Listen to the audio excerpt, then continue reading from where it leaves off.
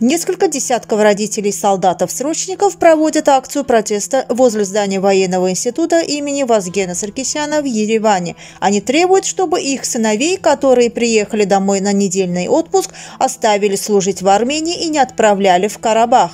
Нам в тот день слово в слово сказали, Россия и Азербайджан не пускают наших солдат служить в Карабахе. Мы сказали, хорошо, пусть проводят жеребьевку и парни служат в Армении. А сейчас говорят, нет, они должны вновь отправиться в Карабах. Никто из ребят этого не хочет, и мы этого не допустим, сказала в беседе с журналистами одна из участников акции «Мать солдата».